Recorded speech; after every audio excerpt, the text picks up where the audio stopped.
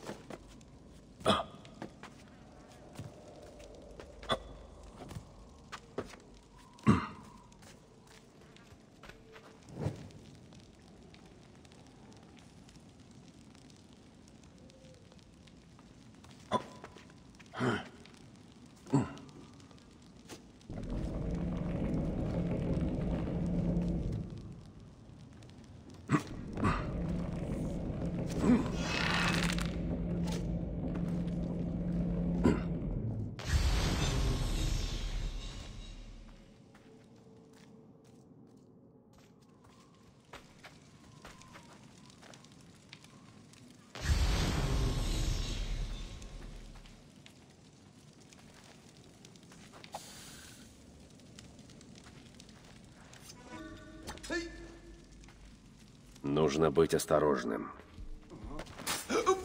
Эй, что?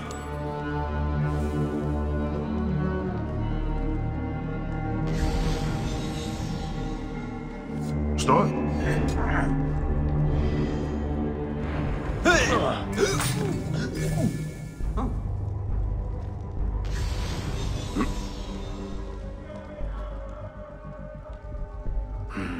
Но где же... Эй, что? Эти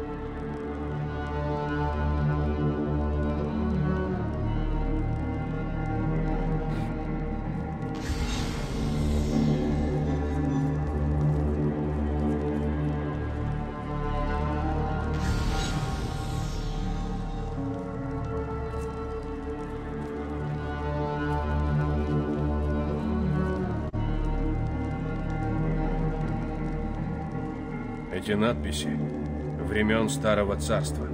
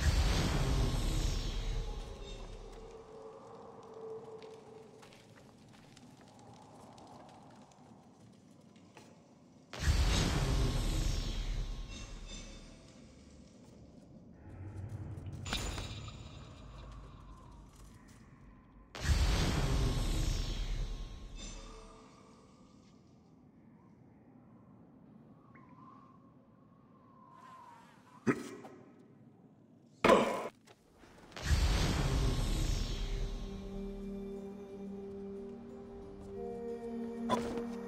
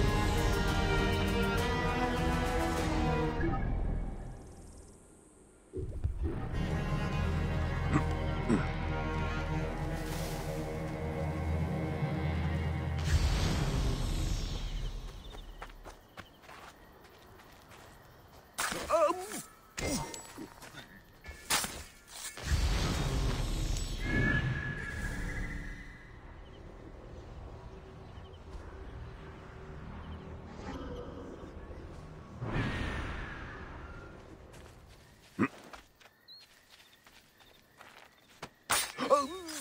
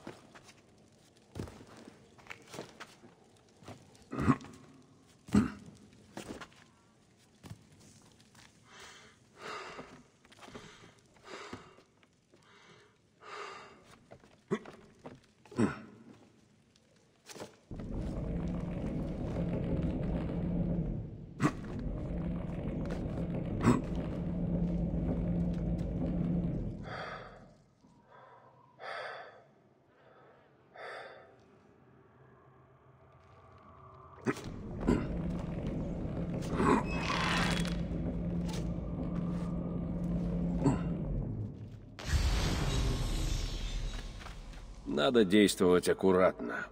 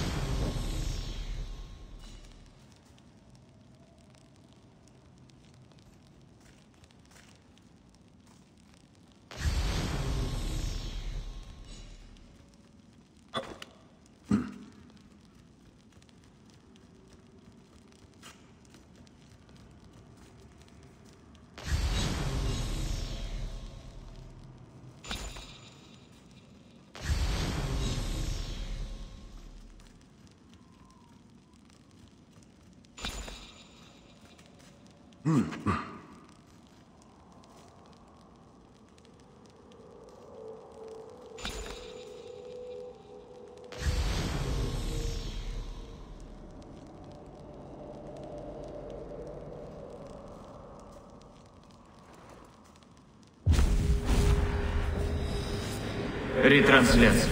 Сегмент 4. Поиск совпадений во времени. 99-й день после Великой катастрофы. Говорит посланник. 21 декабря 2012 года ценой своей жизни Дезмонд активировал защиту и спас Землю от смертельного коронального выброса массы. 21 декабря 2012 года люди всего мира вели обычную жизнь. Люди работали, люди учились, занимались привычными делами. 21 декабря 2012 года, когда зашло солнце, все люди заснули. А утром 22 декабря 2012 года человечество встретило еще один новый день. Никто не узнал о том, что в ту ночь мир едва не погиб. Казалось, что этого хватит. Хватило, но ненадолго. Время неумолимо. У него свои законы. Язык времени сложен и многогранен. Две грани вы поймете. Готовы понять. Линейность времени – это симуляция, которая допускает вариации. Но на любой такой линии есть узлы, уязвимости. В этих местах алгоритмы сводят потоки вероятностей, и они сливаются воедино.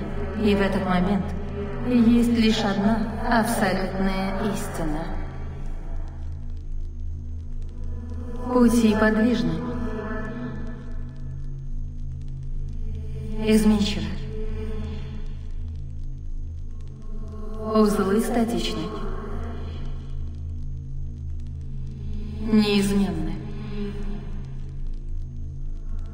Волновая функция разрушает пути, идущие к нетипичным узлам.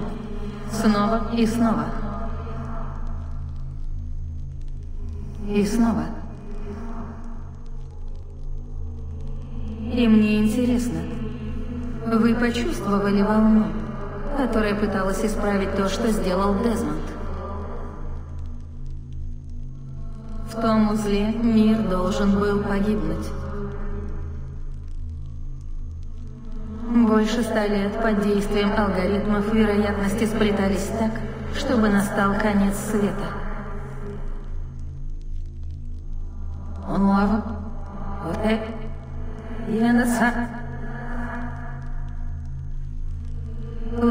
Лабиринты окопов.